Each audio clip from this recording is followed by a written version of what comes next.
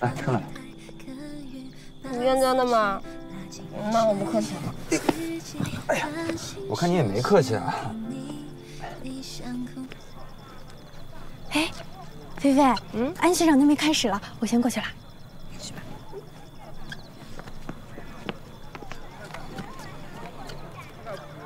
学长。嗯。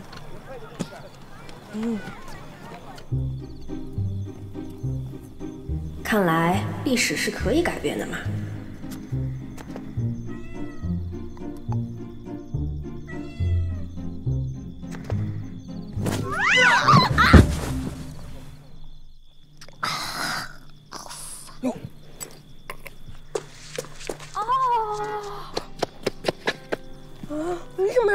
我喂猫啊，没事吧？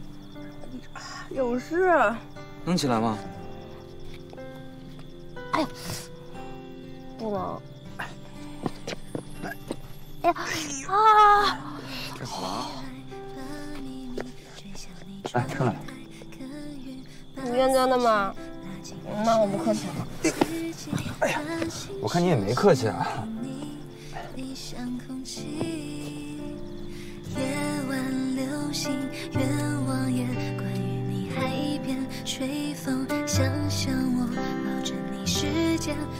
去，还是想靠近你，哪里都是你，等着有一片海，在原地等待，就像从来没骗过一样，相信那份期待不会再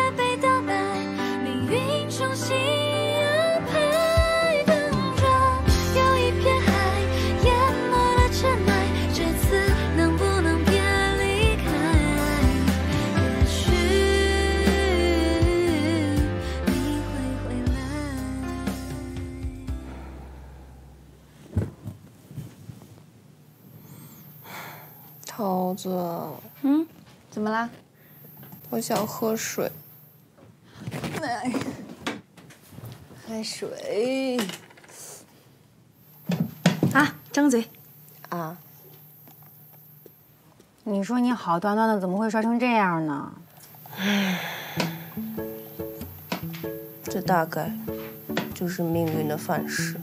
啊，这大概是命运的礼物吧。怎么摔了还是礼物啊？我跟你说，我听素婉阿姨说，是吴景浩背韩飞回来的。真的吗？嗯，你还笑？要不是担心你送你出去，我能摔吗？那你担心我什么？哎呀，算了算了，跟我有什么关系啊？还喝不喝？不喝。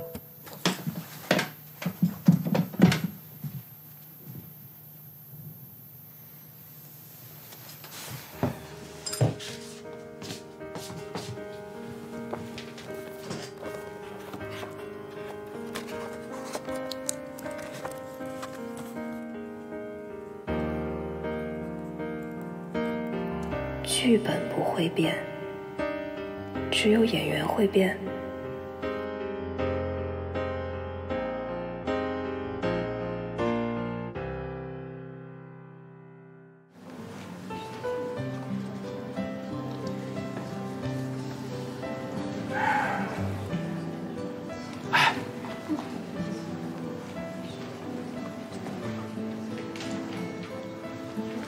旁边有人坐了。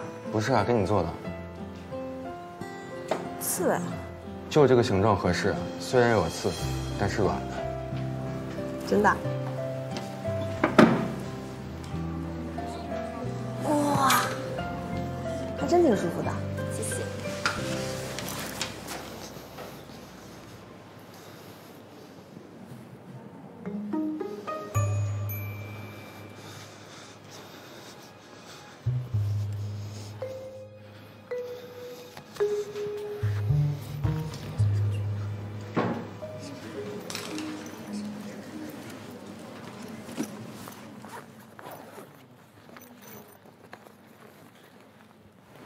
大家好，我叫陈平，给大家上中国文学史。大家知道，我的课呢很好过，所以对考勤要求比较严，上课下课都要抽点。咱们大家呀，不要抱侥幸心理啊，还是要认真的把课听完。因为我的课呀，其实也没那么无聊。好，下面我们开始点名。韩飞，到。王新玉，到。吴景浩，到。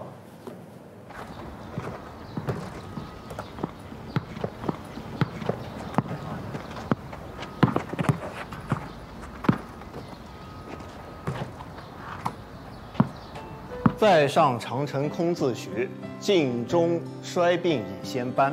出师一表真名士，千载谁堪伯仲间。那么诗句最后的意思呢，就是每个人啊都在伯仲之间，谁都不服谁啊。那么由此可见呢，陆游他是非常的敬仰诸葛孔明啊，但是呢，陆游一生啊从来没有参过军，没有当过兵啊。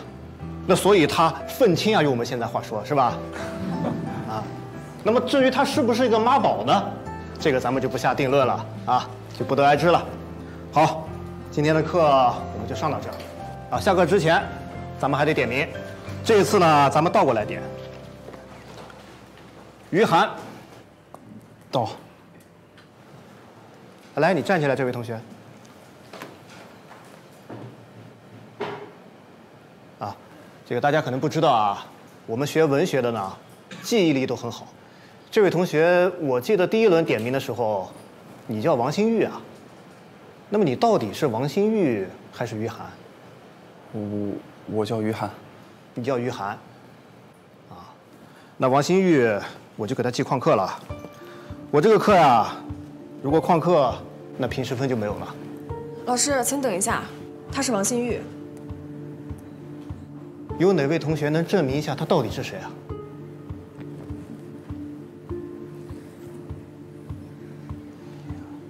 老师，你可以看他学生证啊。你带学生证了吗？没带。那你回去拿一下，我在这等你。其他同学下课。